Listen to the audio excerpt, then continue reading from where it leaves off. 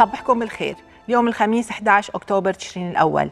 اليوم القمر بعده مرافقنا لليوم الثاني على التوالي من برج العقرب المائي. أجواء بعدها حلوة بترافق الأبراج المائية. كيف رح بيكون هالنهار؟ بنبلش مع برج الحمل.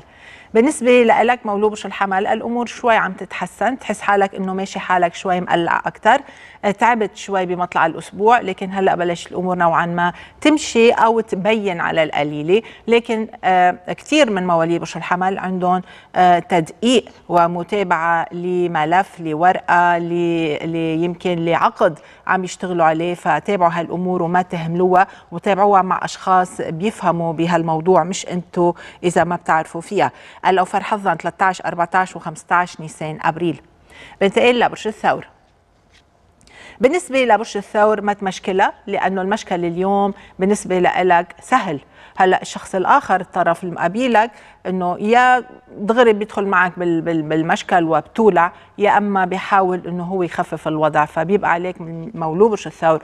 إنه أنت تتفادى أصلا الدخول والوصول إلى هيك مرحلة. الاجواء شوي متقلبة. في تعب في مواجهة. يمكن شخص ما بيتقبل فكرتك أو الطرح اللي أنت عم بتقدمه بشغلك أو بدرسك. بعد عن الخلافات والمواجهات. بشكل خاص 19 20 21 نيسان أبريل. كمل مع برج الجوزاء. بالنسبة لبرج الجوزاء الجو عندك اليوم آه، بيطلب منك إنك تضلك عم بتتابع الشغل تضلك ماشي مثل ما لازم آه، من دون ما تضيع وقت من دون ما تشتت أفكارك. وبعتقد اليوم منه نهار بشتت الأفكار لأنه عارف حالك إنه عينك على الساعة على جدول الأعمال في أمور لازم تخلصها. فركز على هالأمور. ونصيحة من هلأ لبكرة الظهر حاول أنه كل الأمور الصعبة تكون مخلصة لأنه بكرة بعد الظهر تتغير الأجواء. الأكثر حظا 7 8 و9 حزيران يونيو. كمل مع برج السرطان. بالنسبة لبرج السرطان اليوم آه، آه، نهار بيساعدك لحتى تجلس بعض الأمور تسويها تركزها تحلها. يبدو وكأنه هيدا هيدا نهار حتى ولو ركضت وركضت طول النهار وتعبت لكن قبل ما يخلص النهار رح تحس حالك إنه أنجزت الكثير الكثير وبالك مطمن. هنالك أيضا أخبار حلوة بتطمن لك بالك على أحبائك أو على مسألة شخصية. الاكثر حظا 15 16 17 تموز يوليو. كمل مع برج الأسد.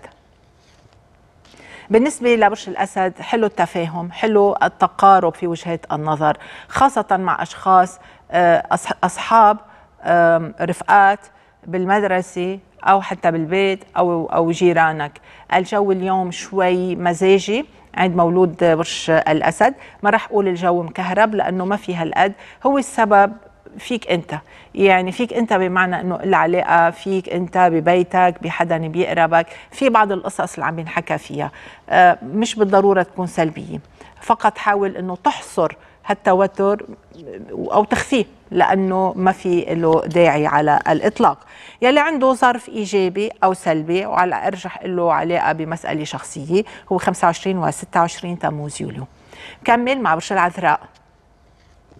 بالنسبة لبرج العذراء نهار بخليك تكون أنت المبدع أنت الشخص الأنشط الأذكى. والشخص المبتكر. اليوم مولود برج العذراء بتلقطها على الطاير على الطاير تسبق غيرك. أنت منافس قوي جدا. اولادكم بالمدرسة أنتم بشغلكم. آه، ست البيت يلي ما بيشتغل حتى عاطل عن العمل. اليوم يبدو وكأنه الطاقة من حولكم نشيطة جدا جدا جدا. وبتقدم لكم فرص تقدروا تلقطوها على الطاير 24 ل 28 آب أغسطس بلس 12 13 أيلول سبتمبر. بعدهم الأكثر حظا. بنتقل لبرج الميزان. مولود برج الميزان حلو تستثمر أو توظف طاقاتك وخبراتك ومؤهلاتك بشيء مفيد لإلك. تذكر إذا عم تتابعني إنه نحن حكينا عن صفحة حلوة كثير صفحة فصل جديد بتبلشوا هلأ عم تبلشوا بسنة 2018 آه ومرة آه بالسنة في عندك هيدي المجال لتبلش شيء جديد. فحاول إنك توظف كل طاقاتك بشيء جدير باهتمامك وبوقتك وبمواهبك كل شخص عنده مواهب كل شخص عنده طاقات كل شخص بيوجه الطاقات اتجاه معين. فحاول مولود برج الميزان إنه هالطاقات اللي عندك إياها وأكيد كثيره توجهها لخلق شيء جديد لبدء شيء جديد. وفيك تنهي شيء. هيدي بحد ذاتها بداية لشيء جديد. الانشط 2 ل 5 أكتوبر.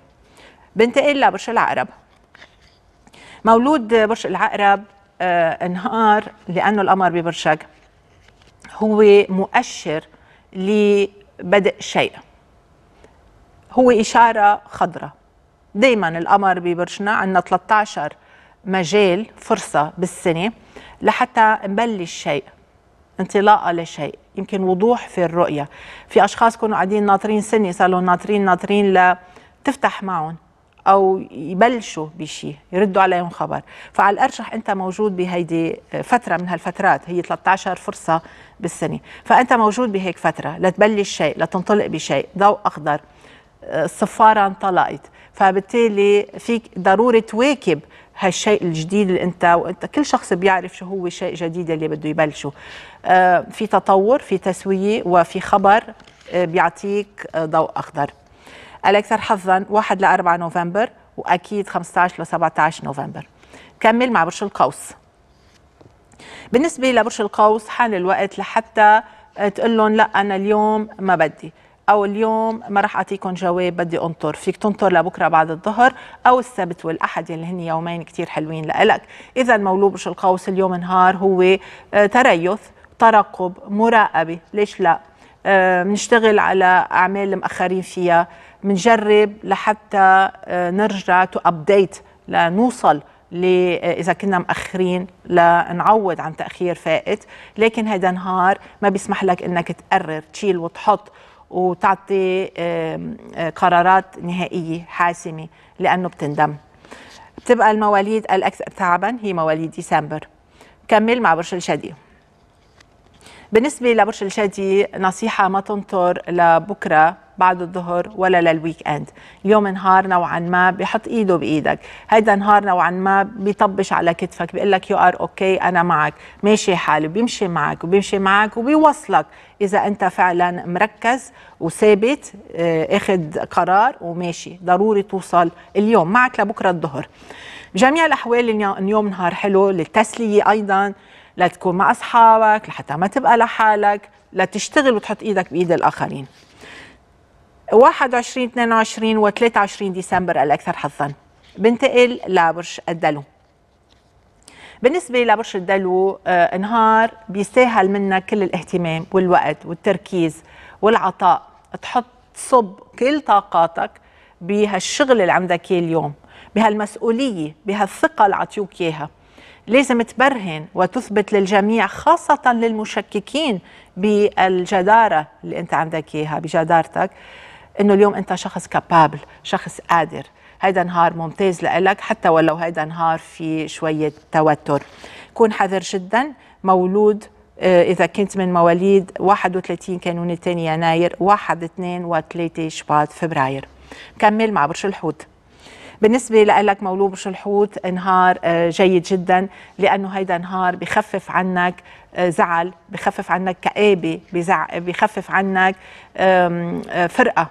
قديش أنت مبتعد عن أشخاص فراق لأشخاص بخفف عنك هالضغط هاي. هذا نهار إيجابي بزقف لك بخليك تنبسط وتفرح وتغير جو وبيعطيك إيمان بذاتك أكثر الأمر يلي بخليك اليوم تتحرك وتتجرأ وتحقق اليوم إنجاز ولا انه بسيط 13 14 15 آذار مارس الأكثر حظا. بختم مع مولود اليوم. بالنسبة لمولود اليوم سنة حلوة بتقدم لك مفاجآت على الأرجح مفاجآت سارة جدا. آه يمكن آه تقدم لك شهادة مثلا. لكن هيدي الشهادة رح تجي من بعد ما تدرس وتسهر الليالي. لكن بالنتيجة نتيجة حلوة. هي نتيجة الوصول إلى القمة. أه بعتبرها سنة كثير حلوة كثير مميزة فيها تقدم ونهايتها كمان بتكون أحلى. أكتوبر شباط فبراير حزيران يونيو هني أفضل الأشهر. إلى اللقاء بكرة أبراج جديدة. bye bye.